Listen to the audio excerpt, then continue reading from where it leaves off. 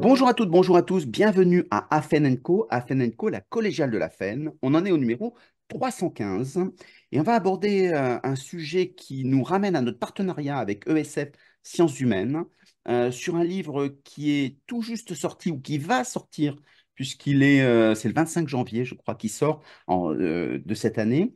donc, on est sur les prémices, sur un sujet qui est complètement d'actualité, qui est celui de l'intelligence artificielle et ce qui est passionnant, c'est de le voir du point de vue de la pédagogie. Donc, non pas simplement de la tech, ce qu'on voit souvent dans les médias, mais à quoi ça sert, comment est-ce que dans les métiers euh, de la formation, qu'est-ce qu'on peut en faire? Et ben, la personne qui l'a écrite, donc la meilleure personne pour en parler finalement, c'est Denis Christol. Bonjour Denis. Bonjour, merci de m'inviter dans cette délicieuse émission. Eh bien, rentrons directement dans le, sujet. Euh, pourquoi avoir choisi euh, d'écrire un ouvrage sur l'intelligence artificielle alors qu'on n'a pas écrit, je crois, de mémoire sur le métaverse, qu'on disait aussi disruptive, ou la blockchain, ou d'autres technologies? Pourquoi celle-ci? Alors, euh, d'une part, je suis en veille continue sur l'innovation pédagogique, la formation, et notamment les, les moyens numériques, digitaux, toutes les technologies software qui intéressent la formation. Et euh, je n'ai pas été convaincu par le, par métaverse, qui est un, un univers fermé euh, dans lequel tu, euh, tu, es, obligé de rester d'une certaine façon, tu es obligé de, de circuler, ça communique pas entre métaverses, il n'y a pas de, possibilité de, quitter ces univers, alors que l'intelligence artificielle est beaucoup plus pervasive, c'est-à-dire qu'elle s'immisce euh, un petit peu dans tous les replis euh, organisationnels, dans les différents outils, dans euh, toutes les façons de penser la pédagogie. Donc ça me semblait quelque chose de beaucoup plus impactant. Et puis, en fait, en faisant de la veille, j'ai commencé à creuser, alors depuis longtemps, parce que j'avais écrit un bouquin, former, se former avec le numérique et apprendre avec le numérique, et je continue à veiller, mais j'ai vu une accélération mm. du sujet euh, sur les deux dernières années avec euh, euh, véritablement une montée en puissance des tests, des propositions de valeurs qui, qui ne cessaient d'arriver. Et de façon assez disruptive est arrivé ChatGPT qui en une semaine a, conquis des millions de... en deux mois, 100 millions de, de téléchargements en deux mois, du jamais vu en, deux mois. Donc, c'était jamais vu euh, à l'échelle de l'humanité. Mmh. Euh, donc, c'est quand même assez incroyable. Et du coup, j'ai vraiment eu envie de creuser, de comprendre, euh, d'où une veille assez intensive de tout ce qui s'écrivait, ce qui se pensait, ce qui se voyait sur le sujet. Et puis, à force de réunir des notes, bah, un, un, ouvrage est arrivé. et ce qui distingue, puisque tu fais la comparaison entre intelligence artificielle et métaverse, c'est le caractère beaucoup plus ouvert euh, de l'intelligence artificielle, en particulier l'intelligence artificielle générative. C'est-à-dire qu'avec euh, sa capacité d'interpolation des éléments, des données entre elles, des datas entre elles, elle est capable de recomposer des corpus de texte, euh, ce qui est complètement à la main de l'individu. Donc, dans le cas des métaverses le propriétaire reste euh, la société qui a construit l'environnement, alors que dans l'intelligence artificielle, euh, l'individu peut plus s'en sortir en termes de créativité, en termes d'usage, puisque c'est à sa main, c'est à lui de donner les bonnes instructions pour obtenir des images, des textes, euh, des sons. Et en ce sens-là, ça vient disrupter assez fortement le paysage en place ça, produit euh, ce que j'appelle une technologie industrielle euh, nouveau, mmh. nouvelle. Pardon. Cette technologie euh, industrielle amenant à un surplus de créativité, de puissance de calcul, mais au lieu que ça soit à l'échelle d'une grande institution, c'est à l'échelle d'un individu.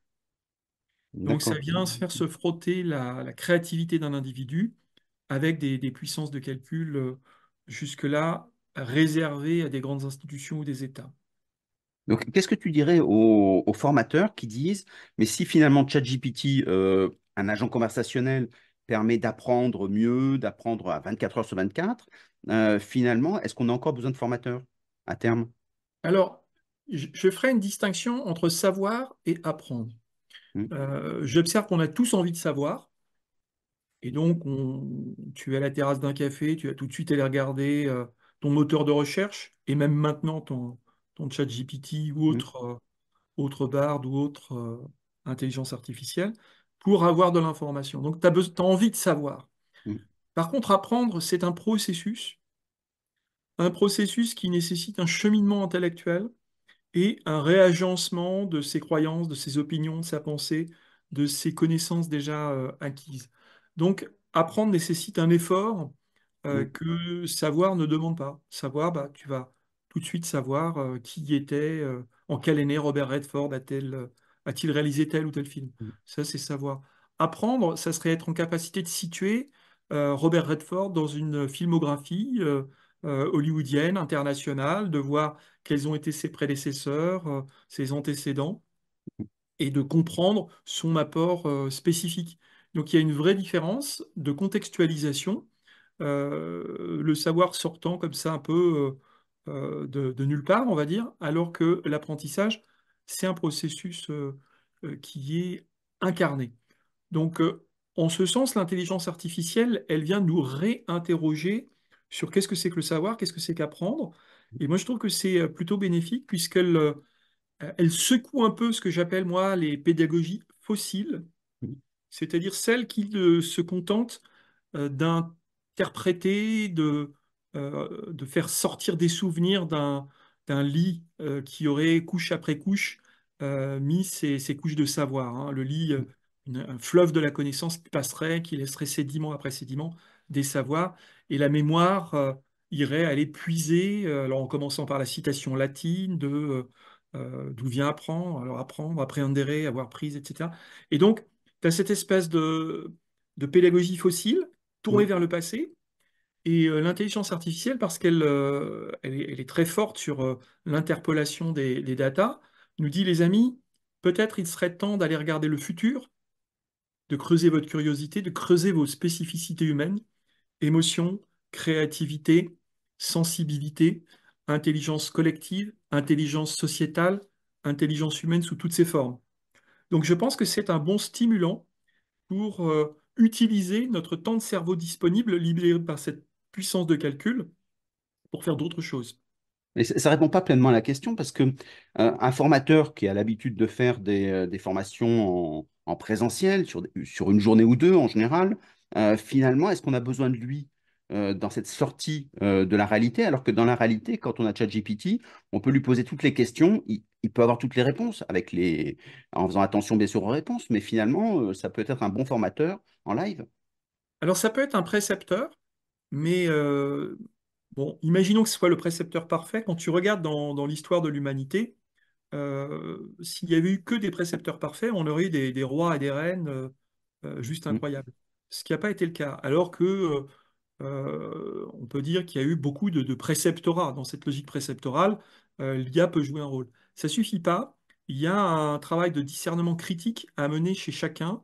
Et il y a un rôle important, de mon point de vue, du formateur, probablement euh, à, à faire évoluer sa posture de formateur à facilitateur. Donc ça fait un moment, tu vois, j'en parlais déjà dans l'ouvrage Former, se former et apprendre à l'ère du numérique. Je disais déjà, on va vers le facilitateur, mais là, je, je pense qu'on y va de plus en plus, euh, avec un rôle toujours de médiateur, c'est-à-dire que, je prends un exemple. Si tu ne connais pas le cubisme, mm, comment veux-tu aller poser des questions sensées sur le cubisme à une intelligence artificielle? mm. Ça te sort complètement de l'esprit. Donc, euh, il y a une nécessité malgré tout d'ouverture euh, sur des, des syntagmes, sur euh, des, des courants culturels, historiques, des grands repères que des formateurs pourront plus facilement euh, euh, avoir et mettre en lien. Ensuite, euh. Donc, ça veut dire que là, avec cette idée de taxonomie, c'est-à-dire qu'on on sait à peu près l'organisation des savoirs, ça, remet en cause dans ta position ce que disait Pierre Bourdieu, en disant ça, c'est un truc de bourgeois. Et finalement, il disait que ces gens-là qui disent le cubisme, c'est une façon de créer de l'élitisme. Euh, et donc, ça a été très critiqué des années 70, puisque son courant de pensée a été dominant euh, jusqu'à récemment. Donc, euh, est-ce que ça, ça correspond bien à, à cette critique ou tu dis c'est autre chose? Bah, je pense que savoir nommer les choses, c'est quand même intéressant. Ça enlève, ça enlève du malheur au monde, disait le philosophe. Donc, savoir nommer les choses, c'est probablement une, un nouveau savoir-faire. Donc, on parle maintenant des prompt designers, donc ces, ces personnes euh, qui vont développer du talent, aller faire des requêtes pour euh, trouver les, les meilleures ressources, les meilleures images, les meilleurs textes, etc. Donc, probablement que le formateur, il va garder un savoir de, de média, d'une certaine façon. Il a un rôle de média, médiateur mm, à jouer euh, pour que ne pas laisser les personnes seules face à une technologie. Il y a plusieurs études qui montrent les- la force d'influence des intelligences artificielles génératives qui, par leur modèle de programmation, vont avoir tendance à t'orienter plus vers tel type de philosophie ou de mode de pensée plutôt que vers tel autre. Donc mm, ça, on, on- c'est mesuré maintenant, on le mm, sait. Ça veut dire que toi, tu crois innocemment faire une recherche, éventuellement même être critique dans ta recherche, mm, et en fait, pas du tout. Euh, tu es influencé par tout un ensemble d'algorithmes qui vont plutôt te, te faire euh, trouver tes références vers telle philosophie plutôt que vers telle autre. Le, Donc le- il y a quand le même ce savoir, rôle de médiateur. le savoir est politique. Elon Musk l'a dit. euh, ChatGPT était woke, euh, d'où le fait de lui créer une alternative, les deux allant de, allant de pair. Et ça veut dire que forcément, n'importe quel savoir n'est jamais neutre. Donc, euh, ça veut dire que l'intelligence artificielle a des biais, comme tout le monde, quoi. Euh, oui, carrément, tu vois, moi j'ai testé euh, des mots, alors je sais plus si c'était le mot caresse. Mm, je, je m'intéresse à la facilitation et notamment à travers des, des animaux, à travers des ânes. Euh, et donc je voulais avoir, euh, je faisais des recherches pour mm, trouver des, des exercices pédagogiques, je mets le mot caresse. mm, tout de suite, c'est censuré. Ça veut dire que là, tu as ouais. un mode Mm, de, mm, de pensée qui est de dire, ah, attention, caresse euh, renvoie à registre sexuel, registre sexuel, nos codes euh, moraux, alors probablement de codeurs, développeurs, censeurs, vérificateurs nord-américains, mm, disent que c'est pas possible. Donc, euh, censuré. Donc, on voit bien, euh, Courbet a été censuré parce qu'on disait que c'était euh, son tableau était pornographique, alors que bon, il était transgressif, bien évidemment, mais pas pornographique. Voilà, donc là, il y a, il y a vraiment l'interprétation de, de- de ces utilisateurs. Donc, pour moi, le rôle de formateur en tant que médiateur, il demeure très important. Mm, Il accompagne, euh, le, il accompagne, il escorte, il guide, il précède, il soutient euh, l'apprenant, aussi autonome soit-il, dans la construction de son savoir par lui-même. C'est, là où euh, il est de plus en plus un, un facilitateur. mm, Il va amener à développer l'esprit critique. Il va encourager à questionner. Il va encourager à croiser des sources. Il mm, va encourager, peut-être même initier la construction de ses propres ressources d'apprentissage. Euh, donc plutôt que de faire des cours, il va peut-être aider les apprenants à fabriquer leurs propres mm, tutoriaux. Euh, donc là, on décale un petit peu du contenu au processus d'apprendre. Peut-être mm, demain, ça sera jusqu'à la finalité de, de l'apprenance. Euh, peut-être qu'un formateur, il sera plutôt encore un, un guide euh, mm. sur mais à quoi ça sert d'apprendre ça et qu'est-ce que tu vas en faire et comment tu vas le mettre en œuvre. Donc c'est peut-être euh, ou comment tu vas faire euh, ce, ce projet. Donc je vois glisser de nouvelles fonctions vers le facilitateur et pas simplement transmetteur de contenu. La désintermédiation euh, ou la réinvention des, des intermédiations. On passe de l'expert à l'apprenant. Euh, donc, c'est quelque chose qui est important. Aujourd'hui, euh, on, s'aperçoit que les, formateurs se disent, quand il y a un sujet qu'ils ne connaissent pas, il suffit de demander à ChatGPT de lui faire le programme, voire même de lui faire les exercices, et avec une qualité, je ne sais pas si tu as déjà eu l'occasion d'essayer, qui est de, de très bonne qualité. Alors, moyenne, évidemment, c'est pas... Mais c'est des choses très intéressantes et donc, ça lui permet d'être pédagogue, d'avoir, de créer des supports euh, à partir de rien, euh, en, en- juste en faisant un prompt, comme tu disais. Ouais, tout à fait. Alors, tu vois, je, je te présente le livre. Alors, on le, on le verra pas puisque c'est une émission de Oui, radio, bien je, reprends, euh, je reprenais le bouquin de, de Francisco Varela, Invitation aux sciences cognitives, un bouquin des années 80. Donc, on se situe euh, 35-40 ans avant euh, l'événement euh, ChatGPT. Et pour lui, euh, on- il parle de sciences cognitives. Il dit, il n'y a pas de, de connaissance sans corporéité. Pour lui, il y a une nécessité d'une cognition incarnée qui passe par le déplacement, par le cheminement. Donc pour lui, il n'y a pas de lien euh, avec l'environnement qui, qui soit objectif. Tu as toujours une part de subjectivité. Et c'est vrai que euh, on a l'impression d'une forme d'objectivité avec l'intelligence artificielle, qui est complètement factice. D'ailleurs, je n'aime pas trop le mot intelligence artificielle, je préfère dire artifice d'intelligence. On mm, te fait croire qu'il y a une intelligence, mais une intelligence artificielle, elle ne produit pas de concept, mm. elle n'a pas d'éthique, elle ne sait pas contextualiser euh, ce qui, euh, ce qui se passe. Il n'y a pas d'exemple incarné. Mais, mais est-ce qu'il y a besoin de produire ou de créer du concept, alors que quand on prend le concept mondial qui existe, on fait la moyenne, ça passe? Bah, tu peux, ça passe, euh, certes, euh, quand tu es en apprentissage, pour moi, il y a une dimension euh, holistique, il y a une dimension intégrale dans le, dans le développement de l'individu. C'est pas simplement une adaptation au poste de travail. Mm, Euh, c'est aussi une prise de distance critique par rapport à ce que tu vis.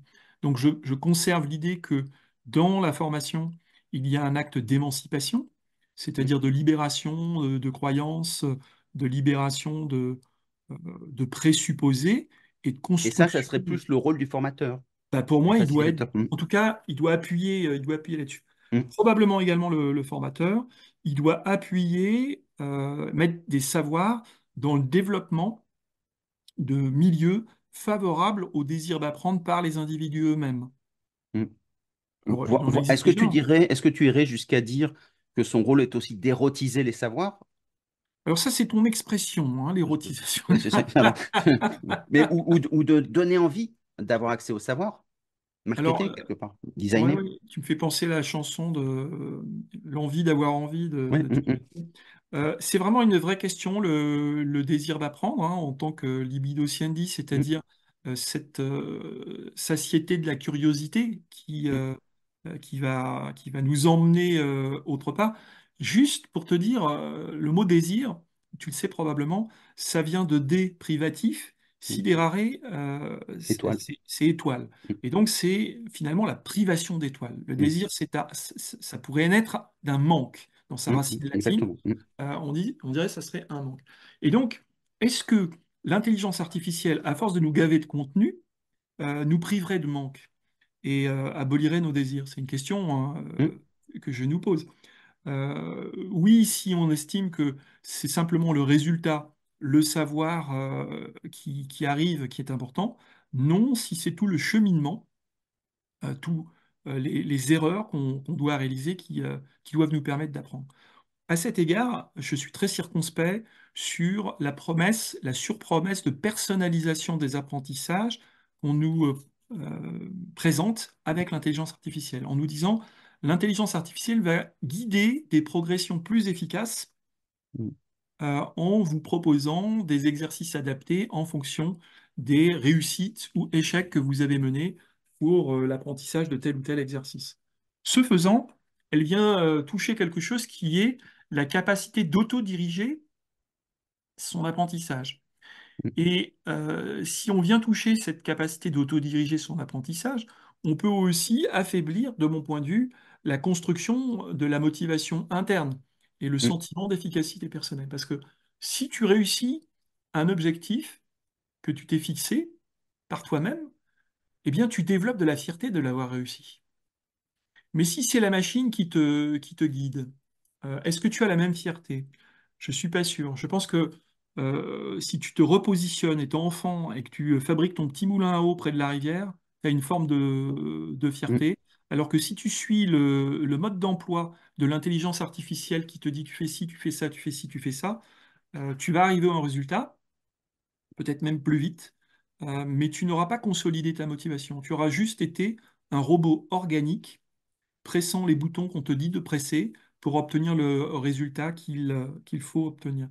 Donc pour moi, c'est pas la même qualité de motivation que tu Si, si construis. tu as une motivation qui est extérieure à toi, ce qui est le principe du social de l'entreprise, tu découvres des choses, finalement, tu te dis, il y a des aventures humaines à créer, euh, et donc tu vas créer ton petit moulin euh, à ta façon, tu vas avoir la reconnaissance sociale qui fait ça, et tu seras sacrément fier de dire, bah, j'ai réussi mon diplôme, euh, qui est une reconnaissance sociale, c'est une marque sociale que les autres te donnent, et finalement, tu te dis, bah, congratulations.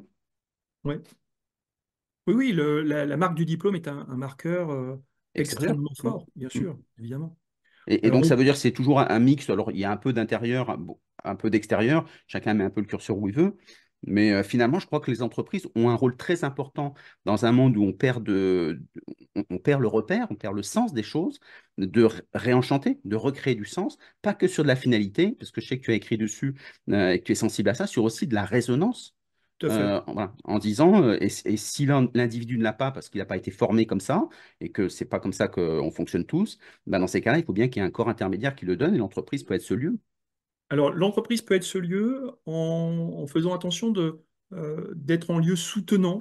Euh, tu vois, là, on renvoie là, vers l'idée d'organisation apprenante. Mm, Euh, l'organisation apprenante, c'est pas l'organisation formatrice qui dit aux gens, je vais vous donner une forme. Tu vois, c'est c'est pas une, une morphogénèse dans le sens où euh, je vais vous former euh, intellectuellement. Ça, c'est un petit peu euh, ce qu'on avait dans l'idée de formation dès, au XVIIe mm, siècle. hein, ça mm, part de là. Moi, je pense que désormais, c'est pas de morphogénèse dont on a besoin, c'est pas de donner une forme aux gens, c'est de mésogénèse, c'est-à-dire d'aider à la construction des milieux par les individus eux-mêmes. mm, Chacun d'entre nous, construisons notre propre milieu, fait mm, d'intériorité et d'extériorité.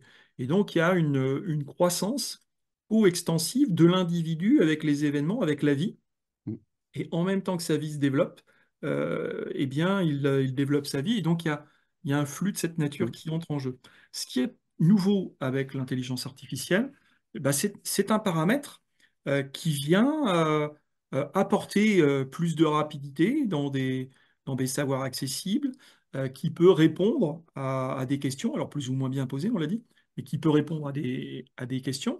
Et donc, euh, il y a quand même ce rôle de, de, de préceptorat probablement que les formateurs vont aussi pouvoir poser des questions sur la façon dont on utilise ces précepteurs. mm, Comment tu utilises ton précepteur, de quelle façon, euh, euh, qu'est-ce qui ferait plus d'efficacité? Donc, il y a probablement toujours dans ce rôle de, de facilitateur de la maïotique qui, qui va grandir. Alors, la maïotique, j'en ai parlé pour le, le prompt design, hein, cette capacité à interroger les, les machines, mais c'est aussi cette capacité à, à interroger les situations. Euh, moi, je suis marqué par le fait que, en même temps que l'intelligence artificielle guette nos réactions et s'enrichit euh, de nos façons de fonctionner, bah, nous, on guette la façon des intelligences artificielles de nous répondre. Donc, tu as un double apprentissage. euh, l'intelligence qui nous observe, enfin la- l'artifice d'intelligence qui, euh, qui observe nos, réactions et, et- la façon que nous avons de, répondre, de questionner, de corriger.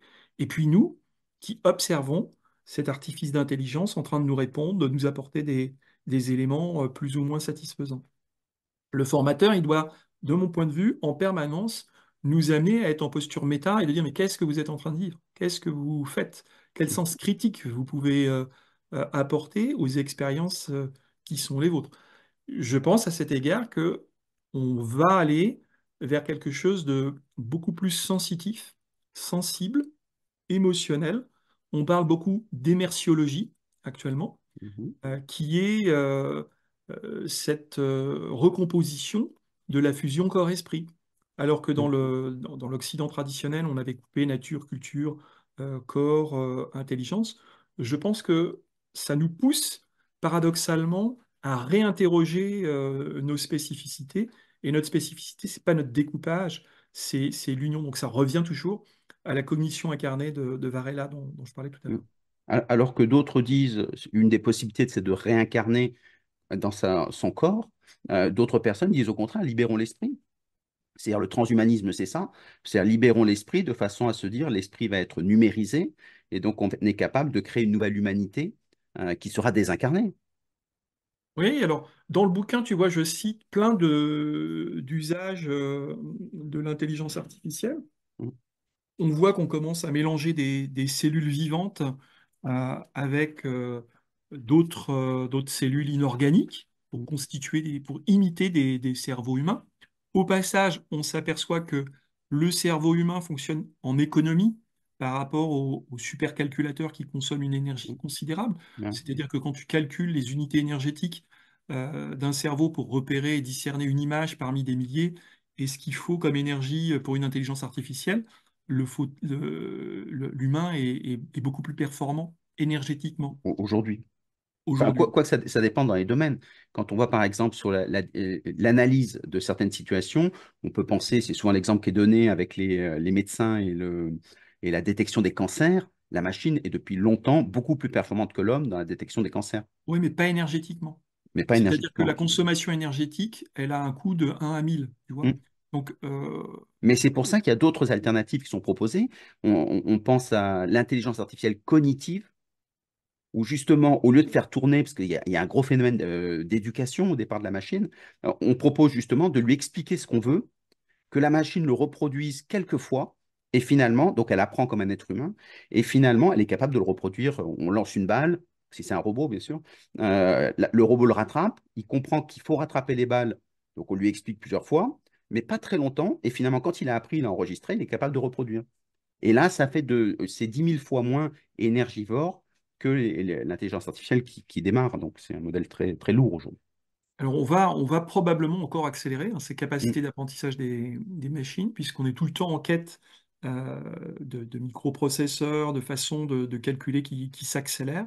Euh, là, on est en train de modéliser euh, sur le, sur le, le mode de fonctionnement du cerveau humain, de façon à ce mm. que euh, ce qui est notre, notre atout principal puisse aussi être externalisé. Donc ça renvoie à la question du, mais justement, est-ce que toi, tu dirais, comme Michel Serres, que finalement, l'homme, euh, ça, ça va lui libérer des capacités à faire autre chose, ou il y en a d'autres, Elon Musk le propose, mais ce n'est pas le seul, et en disant que finalement, on va être tellement dépendant, euh, et les neurosciences le montrent, de la machine, que finalement, on deviendra le toutou, pour reprendre l'expression d'Elon Musk, de l'intelligence artificielle. Ce qui est un vrai risque, et il y a une vraie crainte sociale là-dessus. Alors, tu as un précédent euh, sur le- la libération du cerveau de tâches computationnelles euh, un peu redondantes et lourdes, qui est la lecture au Moyen Âge.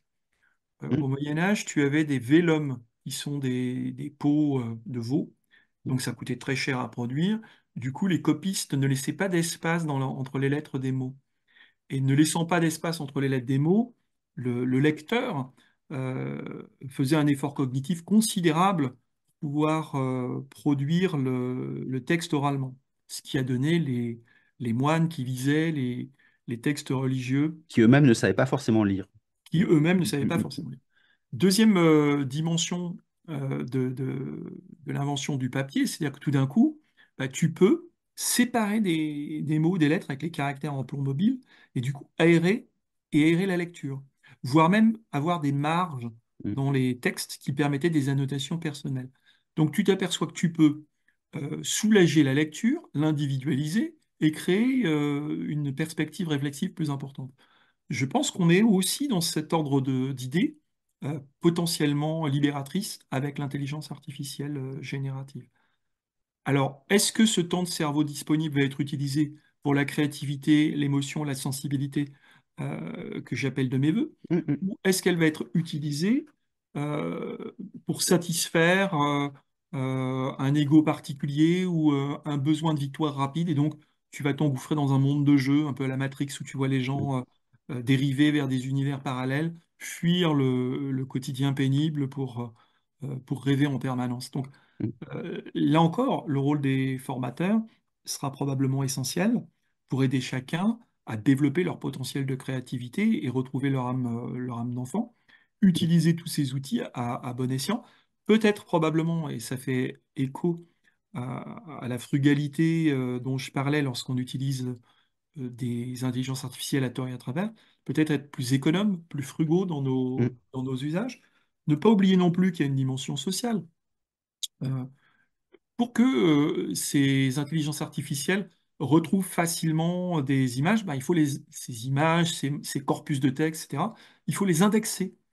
mm, Et donc, il y a tout un ensemble de, euh, d'ouvriers de l'ombre, là, hein, qui sont aux Philippines ou ailleurs, mm, euh, qui vont passer pour des, des heures et des heures à s'user les yeux sur des écrans pour indexer ces petites briques euh, de data. Donc, pas oublier ces éléments-là mm, euh, euh, également hein, dans cette économie euh, euh, de, de la connaissance qu'il y a vraiment des, des vainqueurs et puis d'autres euh, mm, un peu moins. Tout le monde ne sera pas le bénéficiaire de la créativité. Donc, effectivement, alors su- sur, la dimension positive, moi je, suis tout à fait. euh, de toute façon, il y a une chance sur deux, alors donc on ne prend pas beaucoup de risques. Mais euh, la vraie di- dimension, ça réinterroge la notion de mémoire que tu citais au début, l'amnésie euh, numérique. C'est-à-dire, quand les GPS, on voit ça avec les, avec les chauffeurs de taxi, devaient mémoriser les rues. Donc, ils avaient une cartographie mentale, euh, sauf qu'avec les neurones de lieu, sauf que quand ils ont eu des GPS, ils n'avaient plus accès à cette connaissance qui s'est effacé. Ils ont réduit leur hippocampe de moitié. Et donc, ce qui fait qu'à partir de là, ils, sont obligés d'avoir un deuxième GPS parce qu'ils n'ont plus la connaissance. Et donc, l'idée, c'est de se dire qu'aujourd'hui, si on doit travailler forcément, et c'est ça euh, le transhumanisme, c'est qui, que, que euh, Ray Kurzweil dit vers les années 40-45, euh, on va être obligé de travailler avec la machine. Et donc, on sera dépendant de la machine et ça pose la question de qui possède la machine, comment la machine se structure, qui, qui est rationnelle, hein, mais qui n'est pas, comme tu le disais, qui n'a pas d'éthique. Hein. Et, et donc, ça, ça réinterroge. Et dans tous les métiers, ça oblige chacun de se, se poser des questions. Qu'est-ce qu'on peut faire? Et puis, bien sûr aussi, qu'est-ce qu'on veut faire? Ah, Clairement, clairement, euh, quel type de, de pédagogie on veut euh, voir advenir, pour quel type de, de citoyens ou de, ou de travailleurs Hum, ou d'individus. Donc, euh, ce sont des questions que doivent se poser des, des formateurs, des institutionnels, euh, Alors, si, si on avait un responsable de formation bon, qui se dit l'intelligence artificielle, OK, de toute façon, on, on va être dedans. Gardner a montré que 80% en, en 2026, aujourd'hui on est à peu près à 5%, euh, des entreprises utiliseront l'intelligence ar- artificielle générative. Donc, euh, il va falloir y aller. Tu leur conseillerais de, de faire comment? Bien, euh, alors d'une part, je suis en train de, de m'amuser à faire une, une fresque de l'intelligence euh, Ah, artificielle bien. avec quelques, quelques Hum, amis formateurs euh, pour explorer. Donc ça, c'est une première chose, c'est explorer. Je pense que l'exploration, Alors, ça qu'est-ce que c'est qu'une fresque? Parce que tout le monde ne le Bah, sait pas.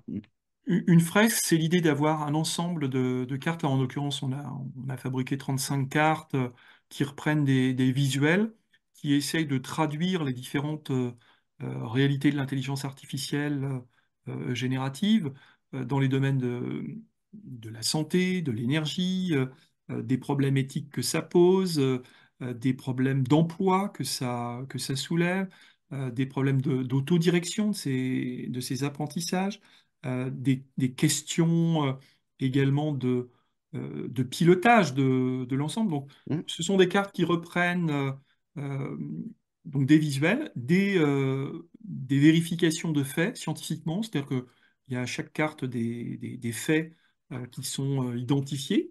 Et puis l'idée, c'est de composer des relations entre ces, entre ces cartes qui permettent d'avoir une cartographie finalement des problématiques de, de l'IA puis, dans un deuxième temps, d'identifier les questions que ça pose à mon activité, mon métier. hum. Et ensuite, de commencer à réfléchir aux pistes de solutions qui me semblent euh, acceptables pour moi. Tu vois, il y a trois étapes, euh, créer sa cartographie, l'enrichir avec ses propres questions, et puis en choisir une question et, et s'efforcer d'y répondre.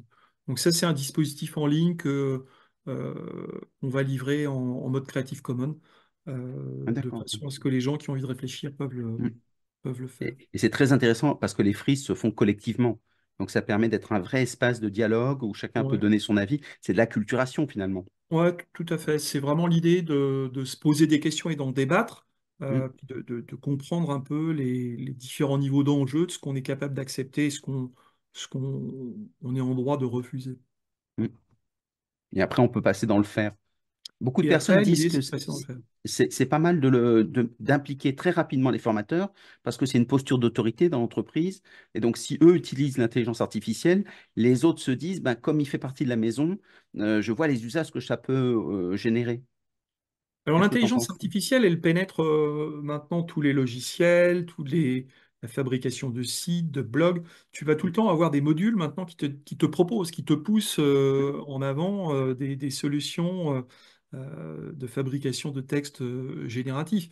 Je mettrais quand même une petite alerte, c'est que autant, euh, alors d'une part, c'est- ça peut, ça- il peut y avoir un risque que des données d'entreprises sensibles filent à l'extérieur. Donc là, il y a probablement lieu à se poser des questions sur euh, que font mes collaborateurs sans le dire euh, Mm. euh, pour fabriquer Absolument. leurs Mm. courriers, leurs contrats, leurs, euh, leurs offres, leurs notices, etc., Donc, ça, pour les entreprises, créer un compte d'entreprise Ah qui bah oblige à ce que...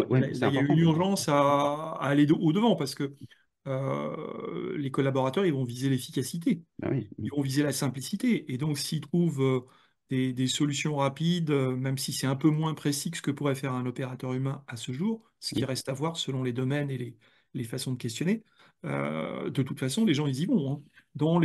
Et même s'ils n'ont pas le droit sur leur propre l'ordinateur professionnel, ils utilisent leur smartphone euh, perso. bien sûr, Mm, ils, mm, ils mm, tout de suite, euh, ils, gagnent du temps, hein, donc euh, euh, ils ont intégré que c'était une, une donnée cruciale. Donc, con- contrôler, je dirais, à minima, savoir ce qui Bah, se passe. comment, co- comment tu pilotes ça si tout le monde peut se débrouiller sans toi? Bah, en- déjà, il faut avoir une culture de confiance, c'est-à-dire de dire, voilà, il y a des, il y a des règles, il y a des choses qui se font, qui se font pas. Euh, ça, euh, on vous l'interdit, Mm, mais on vous autorise ça dans un cadre et on vous offre des solutions. Donc ça, c'est, je pense qu'il y a, il y a quelque chose de cette nature. Euh, après, l'interdiction, on, on sait interdire dans les entreprises, hein, le Mm, RGPD ou, ou d'autres domaines ont, ont posé des limites. Donc là aussi, il y a, il y a- il y a des limites à, à poser sur les données d'entreprise, par exemple. hein. Mm, Euh, bien sûr. c'est très sensible. Après, il y a probablement un cadre de confiance, c'est-à-dire de dire, bon, on, on teste ensemble des choses Voilà. et, et on voit Mm, ce que, ce que ça peut apporter, quelles en sont les, les limites. Moi, j'ai déjà fait, euh, je me suis amusé à faire des dispositifs 100% fabriqués en, avec une IA ou euh, faits avec un groupe de créativité en, en co-design euh, et de comparer les résultats. Mm, Donc, le travail avec l'IA, ça me dure, euh, allez, en 15 minutes, tu, mm, tu fabriques un programme, euh, des séquences, des déroulés, des, euh, c'est, hallucinant. Tu as même mm, des, des, des applications plutôt orientation pédagogique. En 3 minutes, ça te sort un cours de 20 diapos avec les QCM associés, les concepts et les définitions. Enfin, ça te sort un truc, tu dis, waouh, en 3 minutes, quoi. Mais de l'autre côté, je fais l'exercice avec un groupe en en créativité. Et d'une part, il y a du plaisir humain. mm, D'autre part, il y a de l'émulation et puis des solutions qui sont, qui ont divergé par rapport aux données de départ. C'est-à-dire qu'un collectif humain fait diverger la demande de départ, la réinterprète et l'amène ailleurs. mm, C'est beaucoup moins mécanique. mm. Et, euh, et finalement, il y a beaucoup plus de, d'adaptation au contexte et à la situation par les opérateurs humains. C'est ce que j'ai pu, euh, c'est ce que j'ai pu identifier. Euh, maintenant, ça te donne le- la, la- la solution IA donne un truc propre, hein. ça te donne une- mm, mm. des solutions euh, avec un standard, euh, un niveau de qualité de présentation euh, tout à fait acceptable. Mm. Et ça, et ça peut être même un espace d'expérimentation, parce qu'on dit en trois minutes, je vois ce que ça peut donner. Est-ce que ça a du sens, pas du sens? Bah, on a quelque chose de propre, euh, quitte à se dire ça sert à rien, on déchire quelque part, mais en tout cas, on peut expérimenter.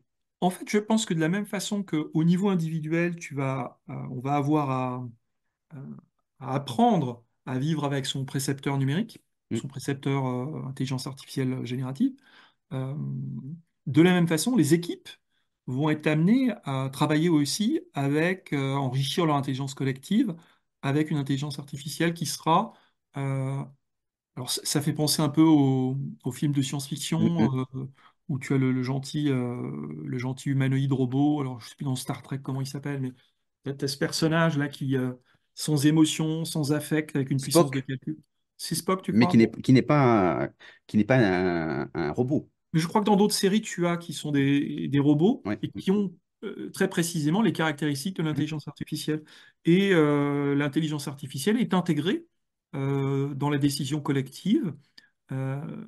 Elle présente souvent les niveaux de risque ou les niveaux d'opportunité présentés à une situation, mais le collectif humain décide en, en son âme et, et conscience d'une certaine façon, puisque l'intelligence artificielle n'a pas d'âme et pas de conscience. mm. C'est ce qui fait peur aussi. C'est-à-dire que quand on est sur des process, l'intelligence artificielle est assez efficace. Euh, donc ça veut dire qu'on est dans le 19e siècle avec la rationalité poussée à l'extrême. Sauf que l'être humain est aussi émotionnel, il, a besoin de proximité, il a besoin de l'autre. Et donc ça, c'est pas pris en compte par l'intelligence artificielle parce que pas pris en compte par la connaissance suffisamment. Et donc ce qui fait qu'à partir de là, on crée quelque chose d'artificiel on sent que ça va être pénible. Oui, et puis tu as, euh, tu, tu as aussi ce constat, c'est-à-dire que on a des émotions euh, pratiquement de, de primates, on va dire paléolithiques. mm, On a des institutions euh, hiérarchisées descendantes, euh, allez, on va dire que c'est médiéval. mm, Et puis on a une technologie qui est en train de réaliser tous les rêves humains. C'est-à-dire mm, que petit à petit, tu es en capacité de traduire tous les rêves euh, euh, qu'avaient les poètes grecs et, et latins. En, en réalité, tous les mythes grecs sont passés en revue. Là, euh, tous les contes de fées sont passés en revue. Toutes les, les- les- les imaginations humaines mm, sont, sont testées. Récemment, j'ai vu au, au salon, au CES de Las Vegas, une société qui a inventé le miroir magique. Alors un peu mm, comme, mm, euh, comme dans Blanche-Neige, tu vas te pointer devant ton miroir, le miroir euh, scanne ton visage, repère tes émotions, mm, et en capacité, euh, après un joli brouillard, de te projeter des images, euh, soit de toi en train de te transformer, euh, mm, soit des images qui viennent t'apaiser ou répondre à ton, à ton humeur. Donc tout ce que l'imagination humaine a rêvé, L'intelligence artificielle, c'est pratiquement une technologie divine, on va dire, et mm.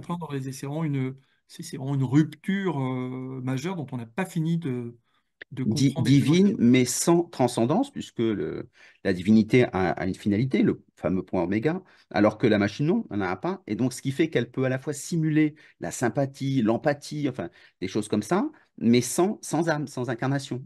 Donc, Oui, alors, où... t'as- juste pour te faire rire, euh, dans le bouquin, euh, j'ai trouvé des courants religieux, donc notamment euh, bouddhistes, voire chrétiens, euh, qui cherchent des algorithmes euh, qui, qui soutiennent finalement le, le développement de la foi. Donc, ils euh, s'intéressent à ces développements-là euh, parce qu'ils ont compris qu'il y a effectivement cette question de transcendance Mm, à, à travailler à travers cette, cette technologie. mm. Donc, très, très bien. Et alors, est-ce que dans, dans l'ouvrage, tu donnes des méthodologies, parce que je n'ai pas lu l'ouvrage, pour être complètement transparent, euh, tu donnes des, des outils et des méthodologies pour des gens qui... euh, pour en faire un manuel? Alors, c'est pas un manuel, c'est plutôt un, un ouvrage qui euh, amène à réfléchir Mm. euh, sur euh, le savoir, euh, sur le, le rôle de la technologie, sur le rôle des formateurs. D'accord, très bien. Par contre, il y a effectivement un ensemble de questions. Il doit y avoir à peu près 150 questions qui sont posées dans le, euh, dans l'ouvrage. Euh, alors, je ne réponds pas à toutes les questions, parce qu'il y a des questions qui sont euh, philosophiques, existentielles, je n'aurais pas prétention à répondre. Mais ça, ça incite à se questionner, à s'interroger et à revoir ses pratiques. Euh, revoir ses pratiques, jusqu'où tu délègues euh, des savoir-faire euh, d'ingénierie euh, pédagogique, euh, sur quoi tu as envie euh, d'être aidé euh, ou pas, Mm, euh, comment euh, tu vas intégrer cette technologie au, au collectif. Voilà, c'est le type de questions euh, mm, euh, que je pose aux au lecteurs et pour lesquelles je fais des propositions de quelques réponses euh, parfois. mm. Et c'est très intéressant dans les entreprises de pouvoir alimenter les universités d'entreprise, qui sont souvent des lieux de réflexion, pour se dire qu'est-ce qu'on fait avec tout ça quand on connaît le potentiel, à- comment est-ce qu'on l'utilise pour de vrai. Et donc ça, c'est important. Oui, alors il y a des, il y a quelques exemples, tu vois, il y a des, des- des organismes de formation qui sont très présents en e-formation. Elles, c'est les premières à utiliser. Alors, euh, on n'a pas attendu les intelligences artificielles génératives, il y avait d'autres intelligences artificielles avant cette catégorie-là qui étaient très mobilisées dans les formations linguistiques. Mm, Euh, bah oui. depuis très longtemps, tu as euh, des, des algorithmes qui sont utilisés dans les formations linguistiques, voire informatiques, pour pousser tel ou tel exercice, telle ou telle difficulté. Donc, on a quand même du recul par rapport à ça, mm. Qui, Mais, euh, mais ça montre tout le, le nouvel écosystème. C'est qu'aujourd'hui, avec la voix, parce que le prompt va pouvoir être, et- commence à être remplacé par la voix, euh, donc ce qui donne une certaine euh, liberté. Si moi, je parle une langue, je suis très mauvais dans les langues, je parle une langue étrangère, c'est l'intelligence artificielle qui va me corriger. Et donc, ce qui veut dire que ça devient un entraîne- un entraîneur, pareillement sur la grammaire, sur le vocabulaire, enfin, tous les éléments comme ça, ce qui existait avant.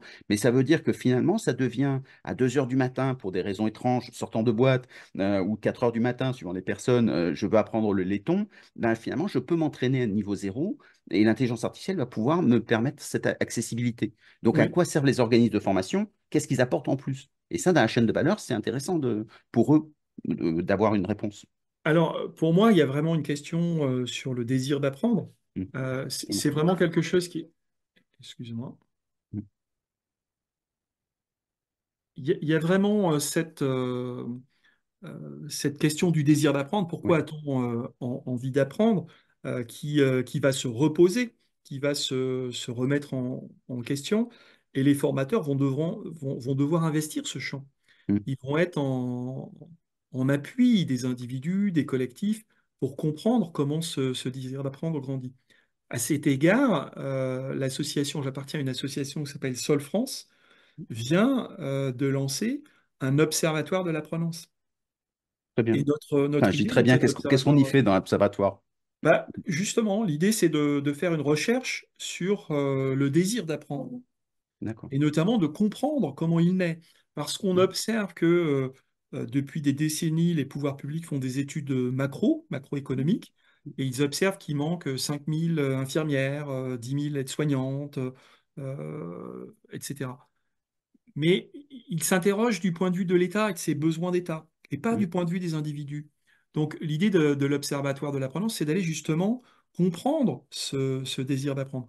Et si on comprend mieux ce désir d'apprendre, on sera mieux à même euh, d'aider les différents acteurs à utiliser les outils, et notamment euh, les outils d'intelligence artificielle générative, pour soutenir les individus dans leur modalité d'apprentissage, en faire des précepteurs utiles d'une certaine façon, et non pas des robots de surveillance, tels qu'on peut en avoir le sentiment parfois lorsqu'on est dans- derrière un écran et qu'on a 50 000 relances parce que tu t'es pas connecté à tel moment, parce que ci, parce que ça.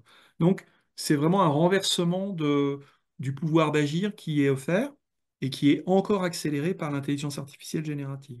Et ce qui est assez extraordinaire, c'est que l'intelligence artificielle générative peut générer des mails. Et donc, il suffit de lui demander de piloter les relances, peut-être d'une autre intelligence artificielle, euh, pour pouvoir lui, lui répondre systématiquement sans que l'individu soit contraint. euh, et donc, que son temps, ça lui libère du temps pour des tâches qui sont euh, peut-être plus supérieures.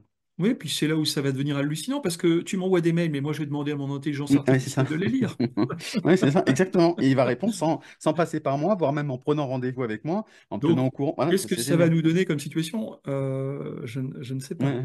Mais c'est là où c'est intéressant de faire des, des tiers-lieux, des lieux où on, peut, on, on soit un peu en dehors de l'activité pour prendre du recul, réfléchir, conscientiser, comme disent certains, mais pas forcément faire aussi, et surtout voir comment les autres font faire de l'intelligence collective. Et ça, ces lieux-là, c'est le rôle de l'entreprise de les créer, c'est-à-dire un lieu où seul j'y vais parce que je, je ne pense pas comme les autres et je me frotte, comme disait Montaigne, je frotte mon cerveau au- à celui des autres pour justement être capable de m'enrichir. Je vois que tout le monde travaille là-dessus, je me dis, ben, ça va être pas mal, et ça me donne l'envie, par empathie, de travailler aussi de la même façon. Oui, Hein? il y a. euh, bon, moi je travaille sur ce que j'appelle la mésologie de l'apprenance collective, ou l'étude des milieux favorables au désir d'apprendre ensemble. Mm. Euh, les tiers-lieux sont typiquement au cœur de, ces, de mes préoccupations, mais pas que. hein, le- la polyfonctionnalité des espaces de formation qui sont amenés peut-être à devenir des, des espaces d'acculturation technologique, euh, de restauration, des espaces culturels, des espaces de vie. Mm. Euh, je, je pense qu'on on a intérêt, pour absorber ces technologies, à mettre encore plus de vie Oui, très bien. euh, moins de silicium et plus de, Euh, plus d'organique euh, humain. Euh, penser l'humain dans sa trajectivité, c'est-à-dire qu'il n'est pas coupé de son environnement naturel, il est la nature. Il est traversé par la nature, il est une émanation, une- un témoignage de la nature. Et donc, toujours revenir, euh, moi je trouve, hein, Mm. euh, à ce que nous dit Francisco Varela sur la cognition incarnée, c'est-à-dire il n'y a de connaissance que vécu dans sa chair. Mm. Donc, euh, comment on va utiliser les intelligences artificielles pour ramener euh, la connaissance dans la chair de chacun et ne pas se laisser euh, piéger par l'illusion du savoir parce que tu as l'information qui t'est donnée et propulsée après une petite consultation. Finalement, ça reprend ce que disait Socrate, c'est le fait de dire qu'il faut incarner les choses. C'est bien la critique qui formée aux sophistes en disant que vous êtes capable d'avoir des représentations du savoir, mais pas de la connaissance. C'est-à-dire ceux qui, vous êtes intime dans votre relation à vous et au, reste du monde, dans une logique euh, de l'époque. Et donc finalement, on revient, et j'aime beaucoup son idée, puisqu'on arrive à la fin, euh, l'intelligence artificielle, c'est pour faire de l'humain. Et donc il faut être encore plus humain, et il faut qu'il y ait des hommes qui choisissent de cette orientation politique, stratégique, euh, donc c'est une vraie opportunité, tu dirais? Oui, c'est une opportunité d'aller. alors, il y a un risque d'aller vers des pédagogies comportementalistes, du, de l'humain organique presse-bouton. Et donc, la voie, c'est d'aller vers des pédagogies phénoménologiques qui partent beaucoup plus du sensible, des ressentis et euh, des imaginaires. Et donc, cette partie-là, elle peut être accompagnée par des fo- formateurs qui font une mutation vers le rôle de facilitateur et qui sont en capacité d'accompagner des projets individuels et collectifs. Ça existe déjà. On voit comment les maisons familiales et rurales, euh, le réseau des APP, euh, un certain nombre de tiers-lieux sont en capacité non pas d'avoir des intentions sur les individus, mais d'accompagner leurs projets. Et dans ce cas-là, eh bien, l'intelligence artificielle devient une ressource extraordinaire, non pas pour te dire ce que tu dois faire, mais qui va t'aider à réaliser ton projet. Donc moi, j'aspire à aller dans ce, dans ce sens-là, quelque chose qui soit pas complètement mécanique, mais qui soit à la main des individus et qui va offrir à des individus qui ont peu de ressources langagières au départ, ou euh, eh bien, à augmenter et puis à se dire, mais je peux faire des choses incroyables. Et donc, euh, ça peut être un nouveau levier euh, de désir, de se dire, voilà, mon manque est comblé, si je reprends la, la définition du désir que je donnais, mon manque est comblé grâce à ces outils, et je peux, quelque part, me permettre de rêver à nouveau. Bravo. Voilà, je trouve que c'est bien parce que ça montre un, angle sur les usages, ça montre un angle qui est aussi politique au sens noble du terme, euh, et ça montre une belle réflexion, chacun peut se positionner dessus. Merci Denis Christol, ton ouvrage Apprendre à l'ère de l'intelligence artificielle, qui vient de sortir, je mettrai le lien dans, les notes de l'émission, euh, sinon vous le tapez sur vos moteurs de recherche. Merci beaucoup, à très bientôt Denis, merci. Merci à toi. Merci à tous, bye bye. Au revoir.